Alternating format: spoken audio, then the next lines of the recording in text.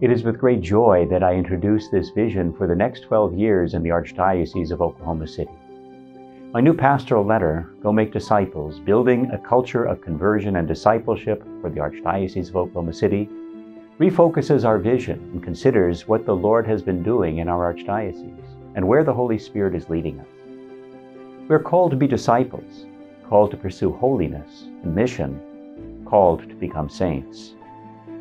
I call on us as an archdiocese and as the body of Christ to a renewed commitment to authentic discipleship. It is my prayer that we continue to advance in a direction that continues to bear fruit in the coming years. Please take time to read this pastoral letter and respond to the call to be disciples and go make disciples. This is why we're here. This is our mission. God bless you.